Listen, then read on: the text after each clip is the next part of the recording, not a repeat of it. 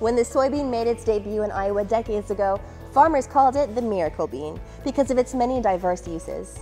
Today, that sentiment rings true. Soybeans provide an environmentally friendly alternative to several petroleum-based products. Most recently, research done right here at the BioCentury Research Farm, funded in part by the Iowa Soybean Association, led to a test track in Alabama made of soybean-based asphalt.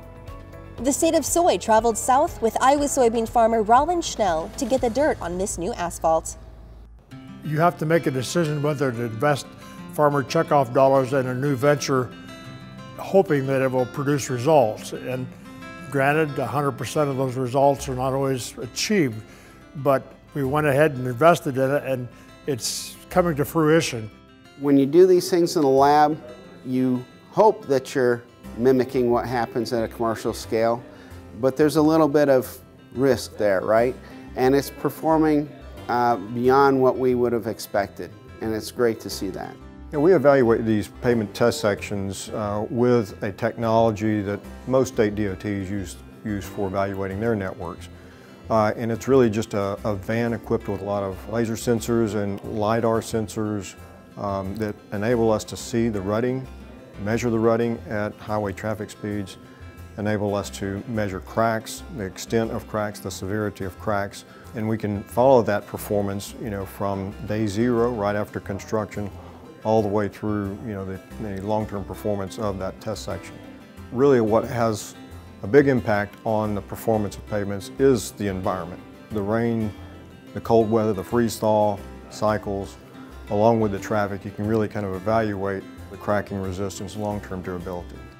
We've had about 6 million equivalent single axle loads applied to the test sections, uh, and that's over about 18 month period. The USB sections are performing beautifully. I mean, they look exactly like we would expect them to perform.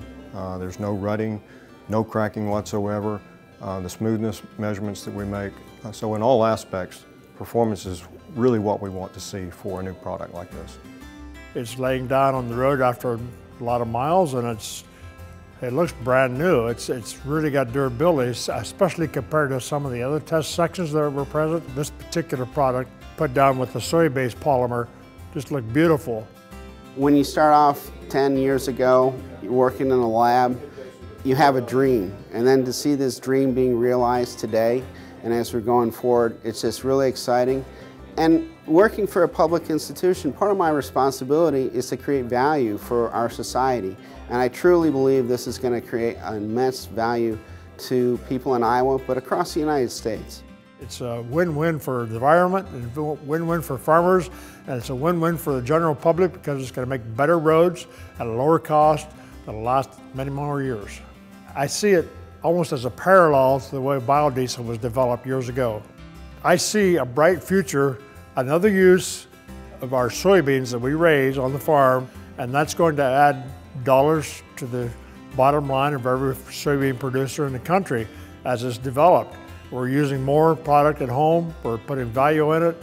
It's a win-win for farmers. It's going to make uh, not only the price of soybeans better, but the livestock producers that use the protein side of the soybean are going to have a less expensive product because we're uh, using more of the oil on a, on a value-added thing. So uh, it's exciting. I, I, see a bright future. My first memory of soybeans was my father planted them with his old International endgate seeder. He went out there and baled the stubble and fed to the hogs. And I remember those picky bales. I had no idea that that little soybean that my father was not utilizing in those days because we didn't know how, but ever develop into something that we have today, a valuable product that has so many and varied uses.